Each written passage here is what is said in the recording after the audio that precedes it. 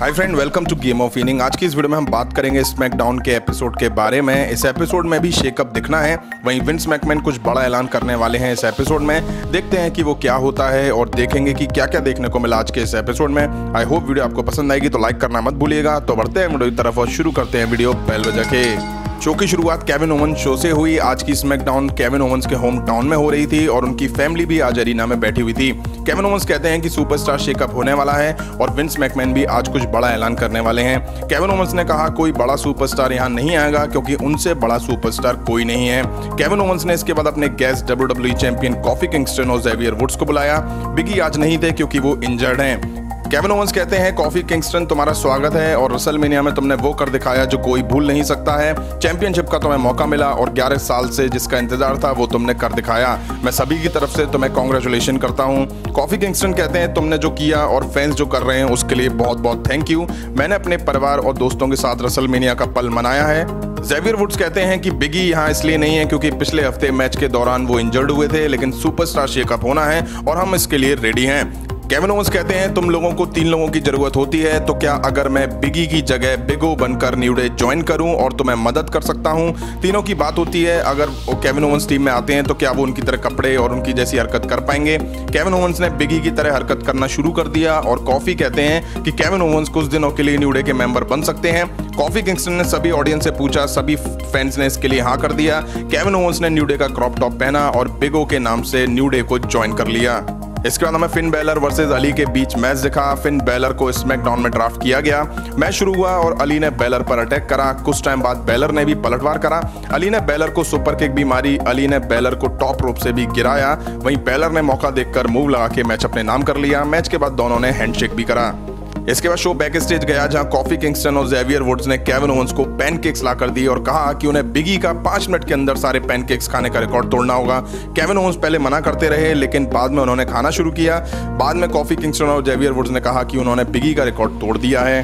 इसके बाद हमें शार्लेट फ्लेयर वर्सेस कार्मेला के बीच मैच दिखा। दोनों के बीच वार पलटवार शुरू हुआ। शार्लेट ने कार्मेला को रिंग पोस्ट पर दे मारा। बिग बूट भी दिया। दोनों रिंग के बाहर भी लड़ती नज़र आई। जैसे ही मौका मिला, कार्मेला ने भी फ्लेयर पर अटैक करा। शार्लेट फ्लेयर ने कार्मेला के पैर पर लगातार अटैक करा और एंड में सबमिशन लगा के फ्लेयर ने मैच जीत लिया। इसके बाद लार्ड सुलेवन की एंट्री हुई और उन्होंने आके आर ट्रुथ पर अटैक करा और उनकी हालत खराब करके रख दी। लार्ड सुलेवन कार्मेला को भी मारना चाह रहे थे बट वो बच के निकल जाती हैं। इसके बाद हमें बैकी लिंच का सेगमेंट दिखा। बैकी लिंच कहती है कि सभी ने देखा है कि कैसे मैंने रसलमीनिया में जीत दर्ज करी है। रॉ में भी मैं गई थी और मैंने वहाँ भी चैलेंजर को देखा। लेसी इवांस के साथ मेरा आजकल झगड़ा चल रहा है, लेकिन मैं अपना काम जानती हूँ। मैं किसी से भी लड़ने के लिए तैयार हूँ। तभी एम्बर मुन की एंट्री होती है। एम्बर मुन ने कहा कि बैकी लिंच संभल कर, क्योंकि वो स्मैकडाउन में आ गई हैं। तभी एंट्री होती है बैली की। बैली ने कहा कि उन्होंने रॉ में काफ़ी काम कर लिया, लेकिन अब वो ब्लू ब्रांड में काम करना चाहती हैं। टैग टीम मैंने टाइटल जीत लिया था, लेकिन अब सिंगल्स खिताब मुझे जीतना है। इसके बाद W W women's tag team champions Iconics भी सामने आती हैं। आइकॉनिक्स अब मून और बैली का मज़ाक बनाती हैं। तभी पेज की एंट्री हुई। लास्ट वीक पेज ने कहा था कि वो टीम लेकर आने वाली हैं। पेज कहती हैं कि टैग टीम चैंपियंस को डिफेंड करना होगा अपना टाइटल पेज अपनी टीम का ऐलान कर रही थी कि मैंडी रोजो सोनिया डेविल की एंट्री होती है। पेज ने कहा कि वो इनके लिए यहाँ नहीं आई हैं। पेज ने पहले आस्का को बुलाया और उनकी एनएक्सटी की एक्स चैंपियन कायरी सेन को बाहर बुलाया। बैकी लिंच को छोड़कर सभी एक दूसरे पर अटैक करने लग जाती हैं। इसके बाद हमें कॉफ़ी किंगस्टन, जेवियर वुड्स और Kevin Owens versus Cesaro, Shinsuke Nakamura और रूसेव के बीच मैच दिखा। रूसेव और जेवियर वुड्स ने मैच की शुरुआत करी। रूसेव की साइड से तगड़ा अटैक हुआ, लेकिन जेवियर वुड्स ने बराबर की टक्कर दी। तभी कॉफ़ी किंगस्टन रिंग में आते हैं, दूसरी साइड से नाकामूरा आते हैं। कॉफ़ी किंगस्टन ने नाकामूरा की हालत खराब करके रख दी। सिजारो भी रिंग में आए और उन्होंने कॉफ़ी किंगस्टन को सबमिशन में पकड़ा। केविन ओवंस ने सिजारो को किक दी और टैग लेके केविन ओवंस ने रूसेव को स्टिनर देके मैच अपने नाम कर लिया। इसके बाद हमें विंस मैकमैन का सेगमेंट दिखाई दिया। विंस मैकमैन यहाँ रॉ के किसी बड़े सुपरस्टार का नाम सामने रखने आए थे, जो स्मैकडाउन ज्वाइन करने वाला है। वो कहते हैं कि मैं जिसे बुला रहा हूँ, वो डब्ल्यू का फ्यूचर है और स्मैकडाउन को काफ़ी आगे लेकर जाने वाला है। तभी विंस मैकमैन ने अलायस को बुलाया। अलायस कहते हैं कि रसल में जॉन सीना, उसके बाद अंडरटेकर और रॉ में मिस्टीरियो ने मेरा सेगमेंट खराब करके रख दिया, लेकिन अलायस ने विंस मैकमैन को थैंक्स कहा। अलायस परफॉर्म करते तभी रोमन रेंज की एंट्री हुई। रोमन रेंज ने अलायस पर अटैक करा। चौंकाने वाली बात है कि रोमन रेंज ने विंस मैकमैन को भी सुपरमैन पंचर दिया और अलायस को लास्ट में स्पीयर दी। रोमन रेंज ने इस बीच कहा कि स्मैकडाउन अब उनका यार्ड है।